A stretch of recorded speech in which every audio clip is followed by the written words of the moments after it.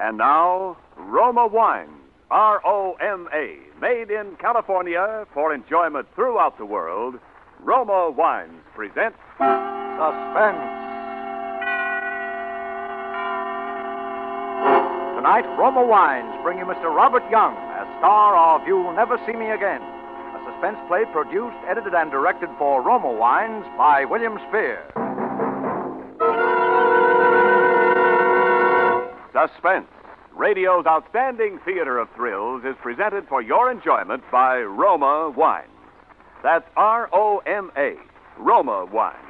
Those excellent California wines that can add so much pleasantness to the way you live, to your happiness in entertaining guests, to your enjoyment of everyday meals. Yes, right now, a glassful would be very pleasant as Roma Wines bring you Robert Young in a remarkable tale of Suspense.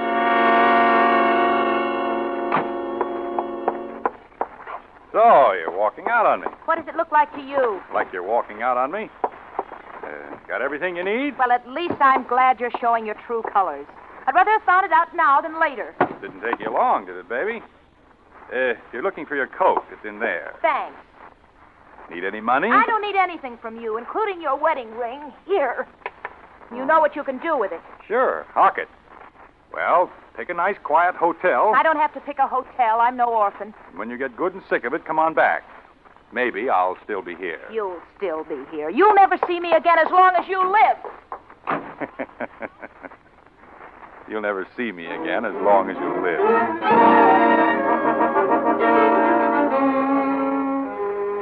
You'll never see me again as long as you live, she said. If I'd known then what I know now, I guess that wouldn't have sounded so funny. All right, maybe I'm not the easiest guy in the world to get along with, but it's perfectly natural for a couple to have at least one good fight after they've been married nearly three months. I just wasn't going to be the first one to say uncle, that's all. Still, you don't wait around forever when your wife walks out on you, even if you are playing hard to get. So the third evening, I put in a call. I knew all along she'd head for her mother's place. And anyway, she'd practically told me where she was going when she left. Hello? Oh, hello. Is uh, this Mrs. Alden? Yes? This is Ed. Uh, Janet's husband. Oh, yes. How is Janet? Well, isn't she there with you? With me? Why, no. Isn't she with you? No. That was all I needed to hear. I grabbed my hat and headed for the bus station. That was the only way she could have possibly gone to her mother's place at that time of night, by bus. First, I wanted to find out if there was anybody who could positively identify her as having left. The guy at the ticket office wasn't very bright. Uh, to West Hampton? Uh, well, seems like I remember somebody like that. It would have been Monday night, just about this time. West Hampton Monday night, huh? Mm-hmm. Well, maybe. I couldn't be sure, though. I. Well, never Well- mind. Give me a ticket. Where to? Where do you think? West Hampton.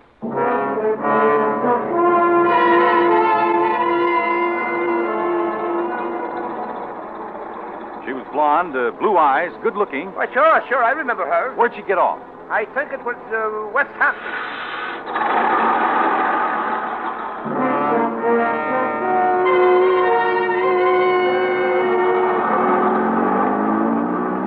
Well, good night.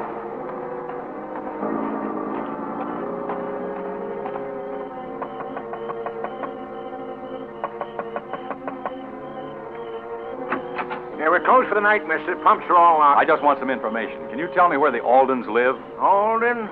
Oh, yeah. They're those new people. Yeah. Well, uh, you go up the crossroad there, you turn to your left, go on down the hill, and it's one, two, three. Let me see. No, no. It's the fourth. Fourth driveway on your right. Did uh, anyone ask you how to get there last Monday night? We're closed Monday, sir. Oh. Uh, fourth driveway on your right.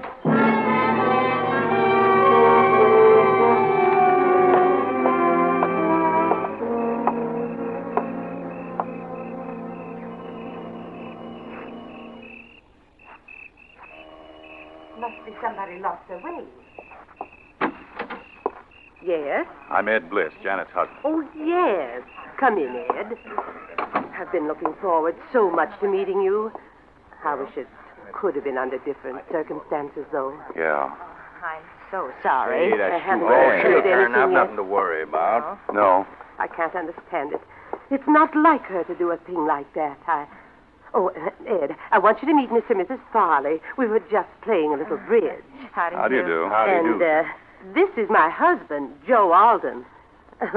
I guess that makes him your uh, your uh, stepfather-in-law, doesn't it? Joe, this is Ed Bliss. How Pleased to meet you, Ed. Well, I guess we'd better be going. Oh, yeah, yeah, no. I guess we have. I certainly do hope that your wife. I, I wouldn't worry about Devine. Oh, you heard about it, did you? Well, Ed, you see, they dropped in a little while after you phoned, and we thought it was Well, all. that's all right. Well, uh, thanks for asking us over. I. We'll come again real soon now. We'll do won't we? that. Well, Please, good night, all. all right. Good Thank you. Goodbye. Oh, Ed, I hope you didn't mind about them. Well, I didn't think it was necessary to. Oh, it's all right. It's okay. Well, then, come on into the living room and tell us about it. Now, there's nothing much to tell that you don't know, is there? No, no, I suppose not. Sit down. Thanks. Uh, can't I get you something to eat? No, thanks. Or some coffee or something? I uh, think I'll pass up the refreshments this time. Well, I know how you must feel, Yeah, I guess you do. but I still can't. I, I just You, uh, can't. The- the- Painted this room lately, haven't you? Yeah, what about it? Nothing. It just looks a little funny, that's all. You think so? And that brick wall in front of the house is kind of new, too, isn't it? You know I'm a bricklayer by trade, don't you?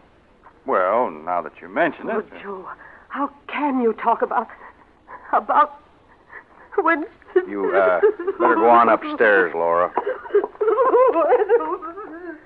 Yeah, she's taking it pretty hard. Yeah. You seem to be bearing up all right, though. You haven't lost any sleep over it yet yourself, have you? I'm not her husband. Yeah, this isn't getting us anywhere. What was that? Laura, I guess she's going to bed. Oh. Well, I guess I better be going down to get that last bus. How about staying overnight? No, thanks. Suit yourself. Oh, wait a minute. I'll put the porch light on. I can see. That's better. By the way, uh, what happened? What do you mean? What happened? I suppose you and Janet had a row. What's that got to do with anything? I hear you got kind of a temper. Were you a little too quick with the flat of your hand? What's all this for? The benefit of the neighbors? It might be. Have you notified the police yet? No. And I don't like the way you ask questions. Okay, okay. Want me to walk down the bus with you? It's pretty dark. Maybe that's why I'd rather walk down there alone. Oh, now wait a minute, Ed. I think you got me wrong. All right, maybe I have.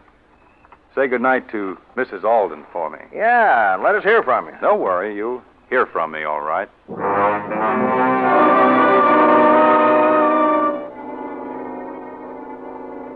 Was still plenty dark when I got back to town, but I took the shortcut at the corner just the same, a path across the vacant lot.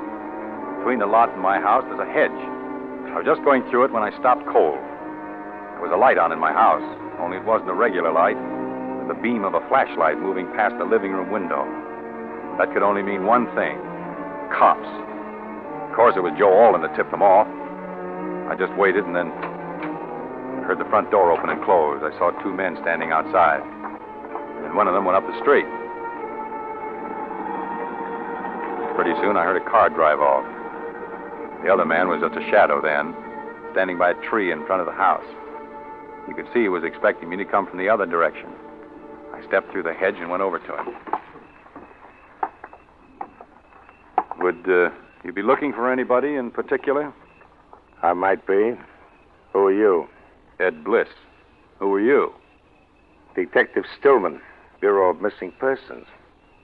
How'd you know anyone was looking for you? Oh, I'm just bright that way. Oh, yeah? Well, they like bright boys down at headquarters. Come on, let's go.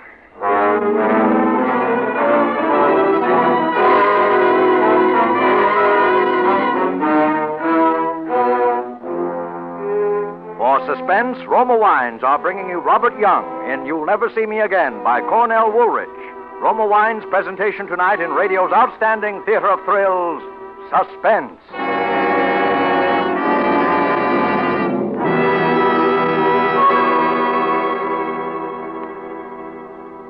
Between the acts of suspense, this is Ken Niles reminding you that it's really simple to please the palates of fastidious guests if you'll just be sure to serve Grand Estate wines.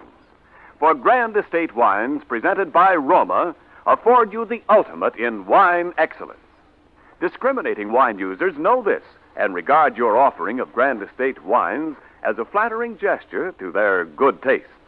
For in Grand Estate wines, particular guests find the brilliant clarity, full fragrance, and mellow taste that distinguish truly outstanding wines. You see, Roma created this limited bottling of magnificent Grand Estate wines especially to please those who know fine wines. With choicest grapes, infinite patience, necessary time, and age old skill, Roma master vintners endowed each Grand Estate wine with fine qualities of wine greatness. So the host who possesses all five Grand Estate California wines is sure of pleasing all tastes at all times. For smart entertaining, delight your guests with Grand Estate Medium Sherry, Ruby Port, or Golden Muscatel. For gracious dining, serve Grand Estate Burgundy or Sauterne. Remember the name Grand Estate Wines by Roma, the crowning achievement of vintner skill. And now, Roma Wines bring back to our Hollywood soundstage Robert Young, who, as Ed Bliss in You'll Never See Me Again, continues a narrative well calculated to keep you in suspense.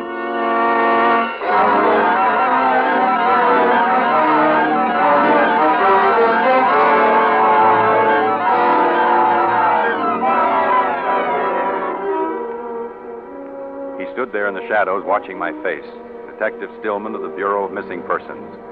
I'd been expecting this to happen sooner or later, and now that it had, I was stunned for a moment. Well, come on, bright boy. They're expecting us at headquarters. Wait a minute, I want to talk to you. I'm in a jam. Oh, you're telling me. No, not the way you think. Will you come inside with me? I've been inside. Say, uh, what kind of a furnace do you have in your cellar, Bliss? An oil burner. The uh, kind that turns on automatic with an electric cut in? That's right. Why, is there a fuse blown? How'd you know there was a fuse blown? Was that why you were searching my house with a flashlight? Or was it because you didn't have a warrant? Say, you really are a bright boy, aren't you? Well, come on, come on. We're going down to Listen, I don't want to have any arguments. I want help, and I want it bad. Will you give me a break? What kind of a break? Oh, this is no place to talk. Will you come inside? Okay. But you better talk fast and talk good. Don't worry. Uh, the fuse box is right here. Uh, flash your light, please. Uh-huh. I always keep a couple of fuses on top of it. Oh, there they are. Uh, uh, let's go in the front room. Uh, after you. Okay. Now, uh, what do you want to talk about? Oh, don't you understand? She's my wife. I'm scared. Then why did you run out? Why didn't you tell the police? Because at first I thought it was just one of those things. Anyway, I knew where she'd gone, back to her mother's. How'd you know that? Because I went down after her. Because all kinds of people saw her go bus drivers, ticket sellers. Only when I got there, she wasn't there. Mm-hmm. How much uh, life insurance do you carry on her, Bliss? Uh, 25000 Wow, that's uh, quite a lot for a $75 a week architect, isn't it? Our mother paid for it, a wedding present. For heaven's sake, what do you think I did? Buried her in a cellar or something? No. We know you didn't do that. We looked. Oh, cut it out, will you? I love her. I. Oh. We've only been married three months. Well, what do you want me to do? Oh, give me a break. Listen, if you take me down to headquarters now, it may be hours. Oh, it'll be ours, all right. And in the meantime, if there's still a chance, but but there's got to be. She's somewhere and she's in danger. I know it. Yeah, how? I tell you, I followed her down to her mother's place in West Hampton. There's a guy at the station who remembers selling her a ticket. The bus driver remembers her getting off there. And then she just disappeared. Then what? I went down to her mother's house. They hadn't seen her. But there's something funny about it. There's something funny about her mother and that, that stepfather. And there's something funny about the house. And about that room. What room? That living room of theirs. Listen, you've got to help me. Help me find her. You've got to go down there to West Hampton with me because I've got a hunch somehow that I'm the only one who can find her. All right, Bliss. All right, I don't know why, but I believe you. You do? Yes, You'll and go? I, I shouldn't believe you either because Because what? what? Uh, what was your wife wearing when she ran out on you on Monday night? What was she wearing? Yeah, yeah, yeah, sure. You must remember what she was wearing. Well, she's wearing a gray flannel suit, skirt and jacket, you know, pink silk shirtwaist, uh, patent leather high heeled shoes, and one of those crazy little hats. Any baggage? Yeah, a little tan suitcase. You're sure of that? Sure. Well, that's why I shouldn't believe it. Why not? Because when you find somebody's clothes around, you usually start looking for the body right nearby. Well, what do you mean? Well, they weren't burned up because that fuse had blown. But we found every one of those things in the furnace down in your cellar about 20 minutes ago.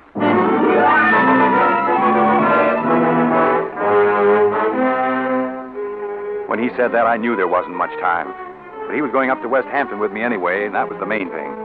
Of course, first he had to rout out the bus driver and the ticket seller and check my story with them just to be sure I wasn't trying to pull a fast one. That was all right. I expected that. Then we climbed into the police car and headed out to West Hampton.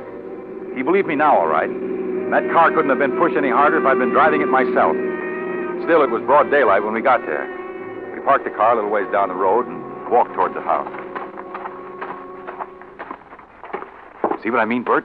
Take that brick wall, for instance. Well, what about it? It's new. What did he build that for? It's not tall enough to hide the road. It's not even tall enough to keep a dog out. What did he build it for? Well, maybe he built it to keep in practice. Come on, come on, let's go in. It's awful quiet. Yeah, well, why not? They're probably in bed, and that's where I would be if I hadn't let you talk to me into this. Listen, Bert, you don't think I. I'm here, ain't I? Go on, ring the bell.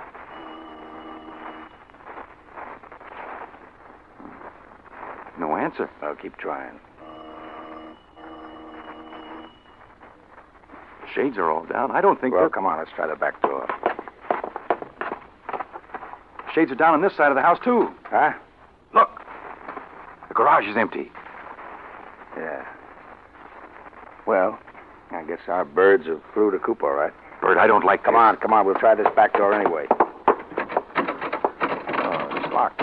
Here, here's an axe. Yeah, wait a minute. Let me try my keys. Oh, nuts. Ah, there, that got it. This, um, this is the way to the front of the house? I guess so. I've never been back here. Yeah, this is it. Here's the front hall. There, there it is. What? The room, the living room I was telling you about. Oh, what about it? Snap on the lights. All right, I still say, what about it? I don't know, but don't you get something uh, funny about it? No, what? The lights, or something about the fresh paint, the rug. There's something, though. I know there is. Oh, come on, come on. We're wasting time. There's something screwy about the whole joint. We went over the place from top to bottom. I wanted to get back to that room, and time was awful important. But Bert Stillman wanted to look into everything, which was only right and natural. Then we ran into something that was just about the last thing I expected. Say, uh, what's the store here? I don't know. I thought we'd covered everything on the ground floor before. Hmm, locked. That must be some sort of back bedroom. Yeah. Well, the keys won't fit this one. Funny, the only room in the house that was locked. Yeah, well, maybe we've got what we're looking for. Uh, give me that axe.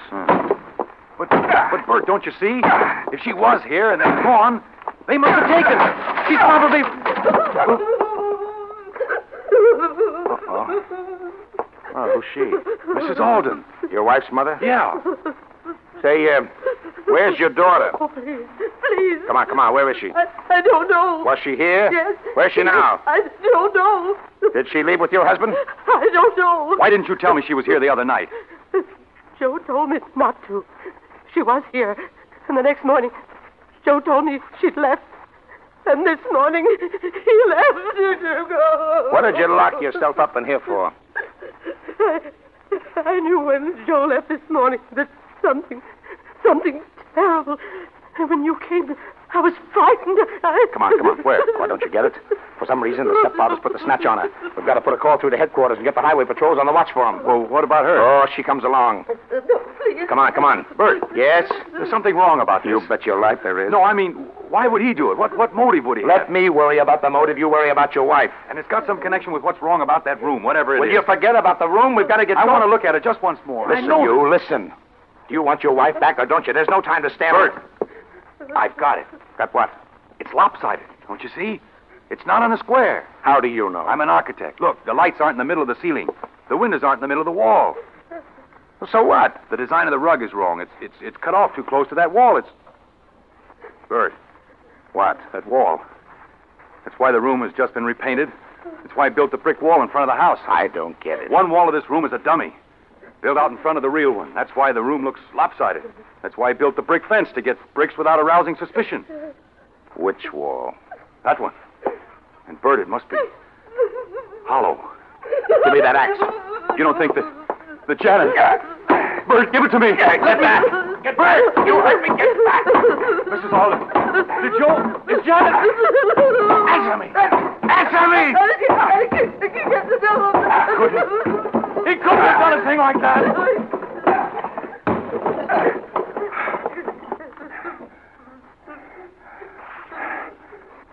Hey, Ed. Yes. Didn't uh, didn't you say your wife was was young? 23. Well, then you can look. This is an older woman. Do you? Oh, you know her? No. Well, there's your motive. Yeah. But, but who could it be? I don't know. Well, she she must know the mother. She can't even talk. Say, Ed. Ed, you would know if she was the mother, wouldn't you? Of course I. w- What? No, I wouldn't. I never saw Janet's mother until I came here to the house Monday night. Oh, Mrs. Alden. Mrs. Alden, answer me. I'm not Mrs. Alden. That's Mrs. Alden.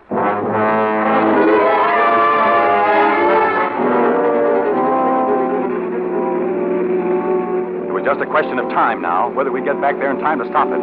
It all fit together now. And what Bert didn't know, he got out of the woman on the way back. Did you know Joe Alden before? No, not before I came to their house in Eastport to to take care of her. I was her nurse, and and Joe and I. Well, Who got the idea to kill her, you or Joe? he did.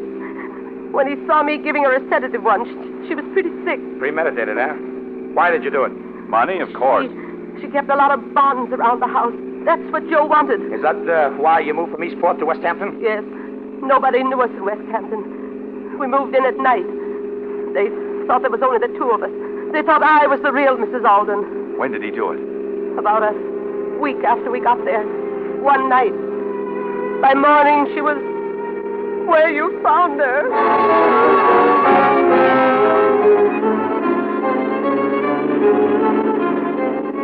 We were doing better than 80 most of the way, but I still didn't think we'd make it. And naturally, Bert was afraid to put the local cops around the house for fear Alden would spot them first and take Janet away. And, and, and, uh, do it somewhere else. If he hadn't done it already. Because Bert had the picture cold now. Janet had come to the West Hampton house and found her mother was missing before Alden had been able to make his getaway. So Alden had to kill Janet, too. He knew where he was taking her because of the clothes in the furnace of my house. That was the tip off that Joe was going to try to plant it on me. The only break I had. At least I knew where to look if I could get there in time. At the outskirts of town, we picked up a police escort. But Bert made them lay off when we got near the house. We drove up the side street and parked a little ways off. We walked up to the house. There was a car in front of it. That Alden's car? Yes. All right.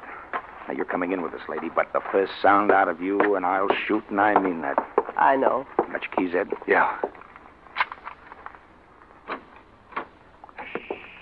Yeah, quiet. Look. Look, there's a light. That's the door to the cellar. Come on. Listen. He's digging. The lights have gone out. He must have heard us. Put on your flashlight. Come on, let's go. There he is. Ed, why you? Hey! Hey. Ed, you shouldn't have done that. He killed my wife, didn't he? Switch on the light. Where is she? Maybe it isn't too late. There she is. She's dead. Yeah. Yeah, chloroform. You smell it? Come on, get that cloth off her face. It's too late. Can't you see? Yeah, yeah, I'm afraid, Ed. All right. Say, wait a minute. What are you doing carrying a gun, Ed? I got a permit. Anyway, what's the use of asking questions like that Say, now? no. And- She's moving. What? She's alive. Here. Come on, Ed. Give me a hand, quick. Ed, Here, Ed. Come on, help me. I. Oh. Hey. Hey, Ed, where you going? Put up your hands, Ed. Okay. They're up. Ed, you could at least have done it yourself instead of hiring a murderer.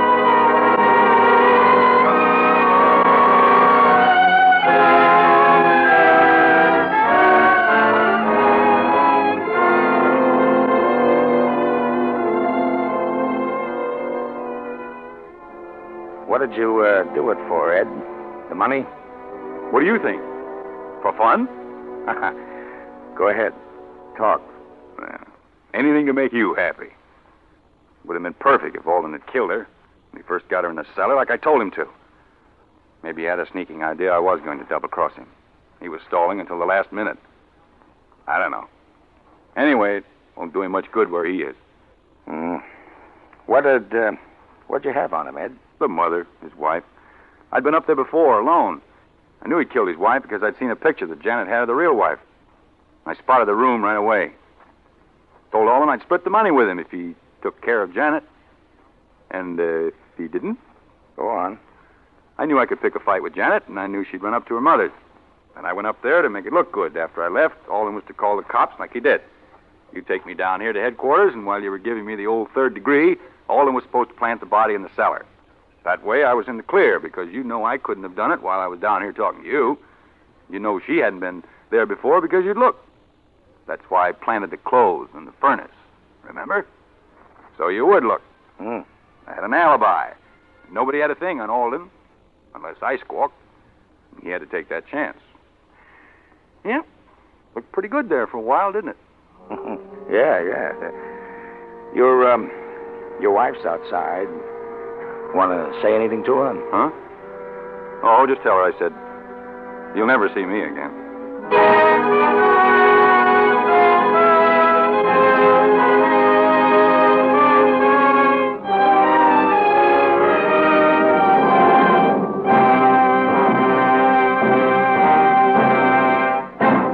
Suspense.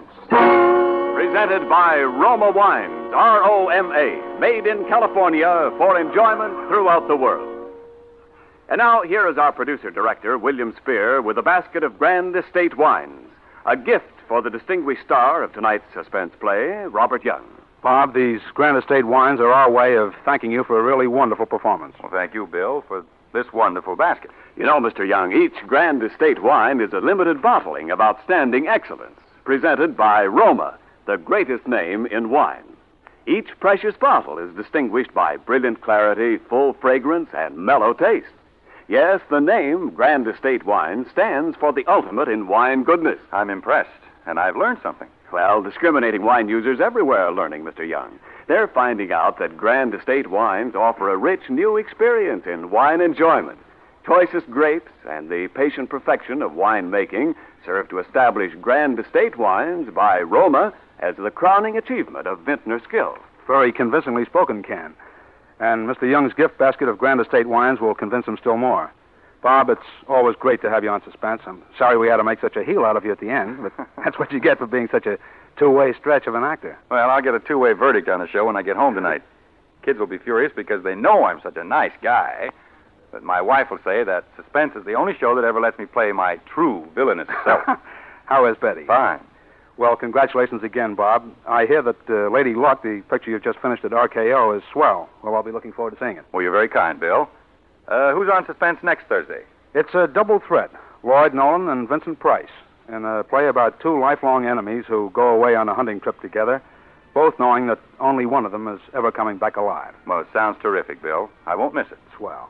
And now, Bob, with my compliments and Roma's, here's that gift basket of Grand Estate wines. Thank you again. And good night. Next Thursday, same time, listen to Vincent Price and Lloyd Nolan on Suspense. Presented by the Roma Wine Company, Fresno, California.